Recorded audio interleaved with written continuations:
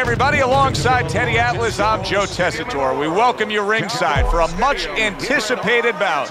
Let's set the table for you and get ready to dish up this big night of action. They're scheduled for 12. Here's round number one. Teddy, I've heard you say so many times when when you talk about out, upper body and head movement defensively is, hey, don't worry about missing by this much. Just miss by a little bit. Yeah, that's being a real pro. If you make a miss by too much, by the time you come back to get the other end of it, he's not there. You're not going to catch him. You want to make him miss just enough. It's just as safe whether you make a miss by a mile or by an inch. But if you make a miss by an inch, you can come back and counter him. That's a well-scored left hand by the professional. Here's a moment here as you see the step-back counter punch where you realize this is the sweet science, not just some raw savagery swinging out there. Look at the little subtleties here, Joe. What he does is he forces him into a position to stop the punch. And then when he stops, steps back, makes a miss, and comes right back. Really on the mark with that overhand left.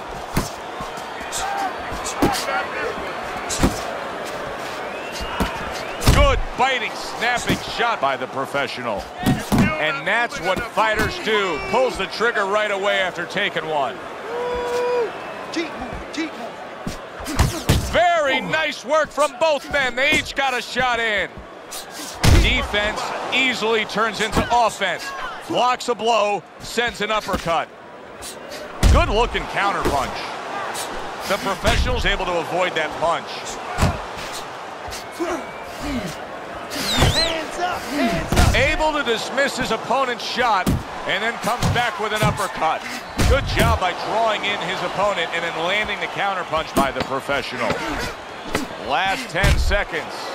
Man, that's it, baby. Good job, good job. We come to the end of the round. A round that I'm having a tough time trying to think about who won. I can only imagine what the judges are thinking about. Teddy, if there's one thing you look for in a round like that and say, okay, I'm going to give it to this guy over this guy, what is it? Well, the first thing is, if I'm a judge, I take a little notepad and I make a little mark down blue or red corner what he did early. Because sometimes a judge has a tendency to forget what was done early and only go with what went late. Real close. I mean, real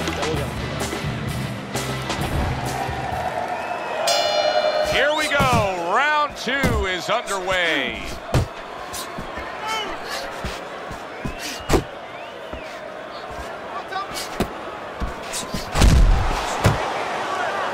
And he ties up on the inside.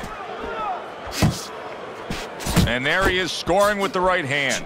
The professional showing you a little defensive skill there, able to move away from that punch.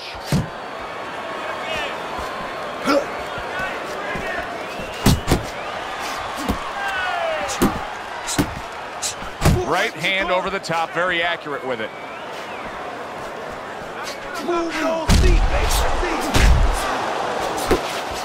Solid right by the professional. Unable to score with the hook. Commits to the straight right. Parries that punch intended for the head. Oh, how about that? Back with a power punch of his own. Teddy, I don't think he's got visions of sticking around too long. He's landed power punches early. Yeah, he wants to make it a quick night's work. Mm. He gets off with a combination up top. There's a good right hand. That's a big uppercut that just crashed home.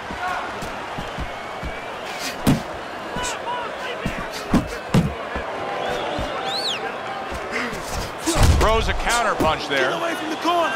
Not much action as he just ties up. Blocks that blow and then a counter uppercut.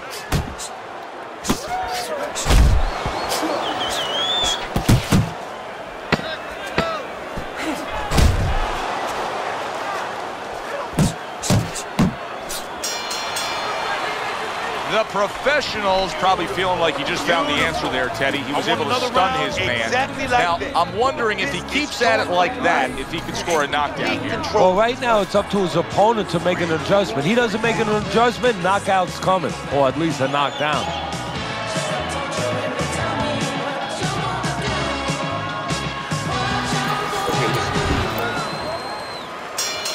Start of a fresh round, but I'll tell you this, Teddy. I don't know that we're going to see the end of this round the way he was damaged. No, I would be surprised. I don't know that he could continue or that the referee would allow him to. How about that exchange? Get some of that too. Now, come on, let's go. Now there's the jab. The professional scoring with that right hand. I like that step back right there. Just enough to be out of danger, but still close enough to then land the counter punch. Well, that's what happens when you have that kind of experience. You're calm enough to know that range, know where the beginning of the punch and the end of the punch is. Nice block that time. It was intended to the head. The professionals landed a good, solid combination. He just missed that shot up top. And coming upon the halfway mark of this three-minute round. You know, that jab is so basic, so simple, but as you can see, so very effective for him early on in this fight. Yeah, well, he's telling his opponent, you're not coming onto my property. You know, I have a dog here, and this dog bites.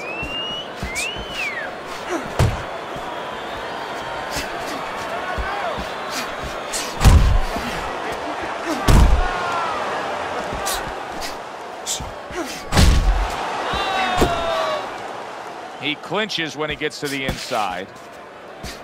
Lands flush with the two-punch combo by the professional.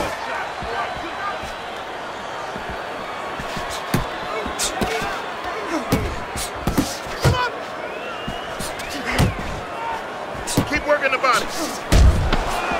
Ten clicks of the.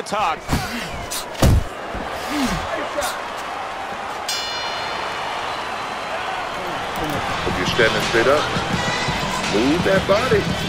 You need to move that body more.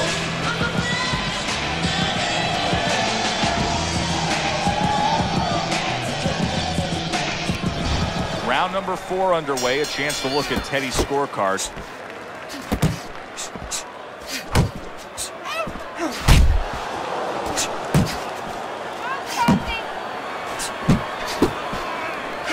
Oh, what a left hand.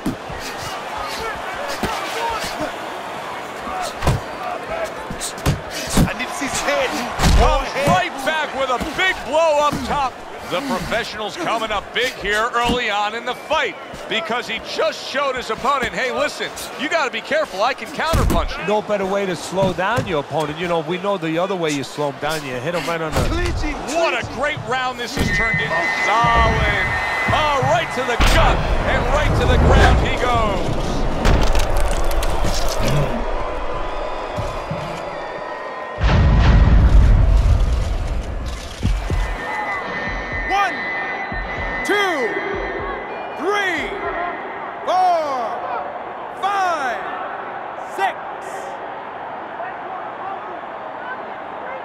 Hard to prepare for a situation like this, but many do.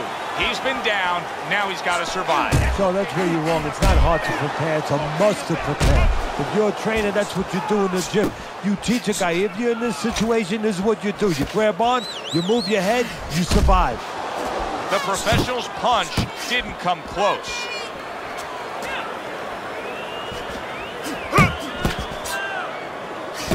Return to sender. He gives him back one of his own.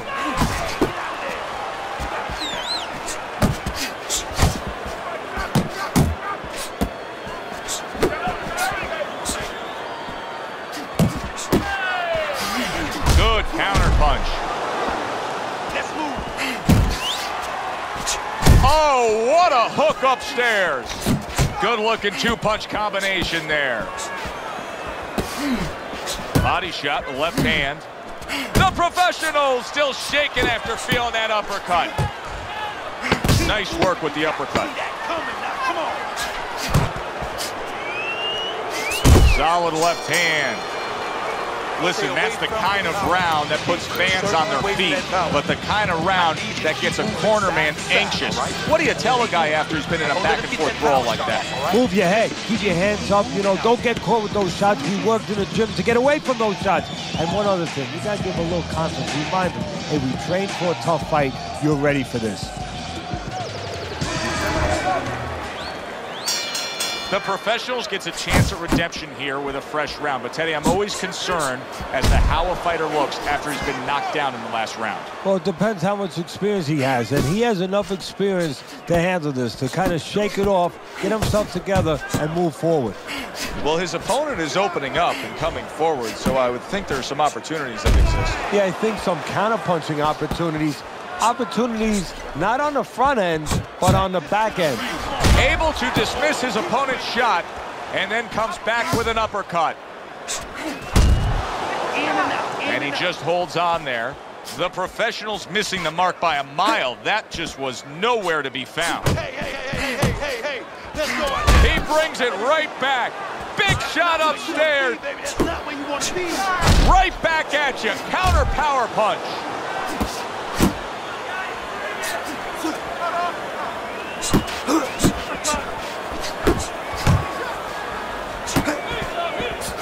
Committing now to the left hand. Good straight shot. Comes with the right. Punches and bunches. Combination up top.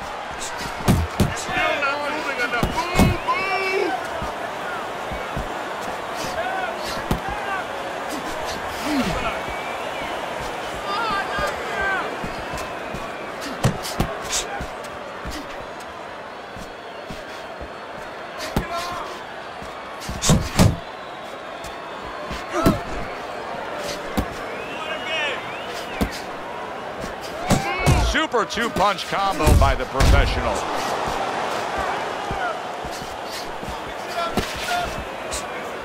Guard up. Keep that guard Now his opponent got away from that uppercut. Keeps his hands up defensively, protecting the head. Let's see if he can build on the momentum he just created for himself. That knockdown did a lot. Yeah, well, he's an experienced guy, so he understands that he still can control things. Also, not only the experience, but the confidence that comes with experience. He knows this is over when he wants it to be over. Need to pull it in. Good action here tonight. Both guys bringing their best, and both guys meeting each other stride for stride, punch for punch. Tough fight to score here as we're back underway. And now just wasting away some time with that clinch. Good job protecting himself. The professionals doing well here with that two-punch combination.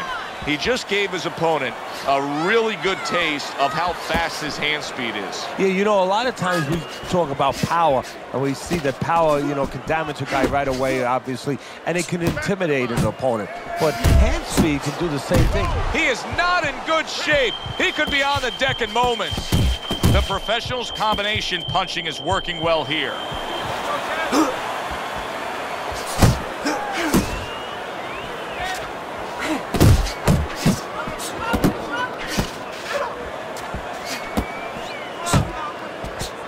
didn't see that left hand, and it got to him badly. He should really tie up now. Now he's just walking him back a bit there up against the rope. And bang, and away he goes. What a turn of events. What a turnaround. He scores his own knockdown after being knocked down earlier. And that's where scoring a knockdown hurts you sometimes because now you think you're just going to walk in and get it again. Well, he walked in, he did get it. He got it. Come on, baby. Use your feet. The professionals defense did a good job there, able to avoid that punch. Blocking a score.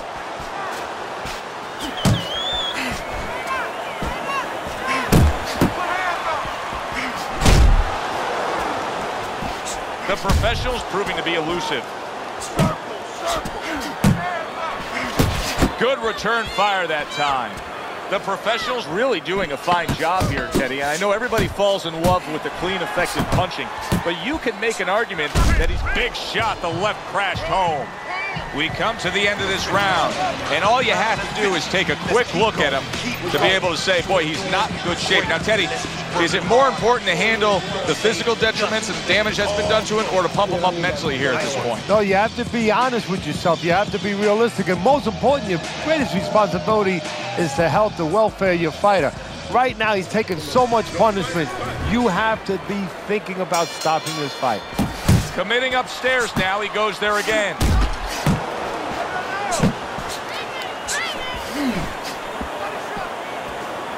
Good snapping jab. That's what you need to get inside. Hey, Joe, you're going to rob a bank, you need a smoke screen so the guards don't see you coming. You want to get inside? Use a jab. He missed with that headshot. Oh! And he crashes to the canvas once again. He's gotten up before. What about this time?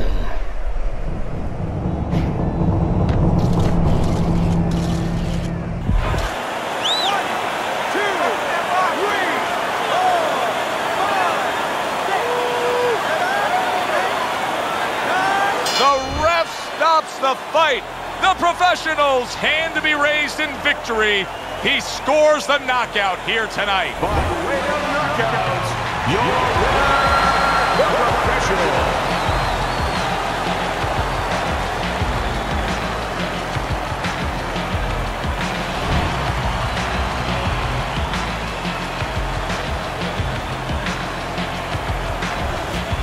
what you want to see, a guy who can close the show and finish with style. He ends up a knockout victor tonight. And that's what his trainer wanted. His trainer was even telling him, step it up a little bit because he knew this was possible, and they got it. For Teddy Atlas, I'm Joe Tessitore. That does it ringside. We'll see you next time at the fights.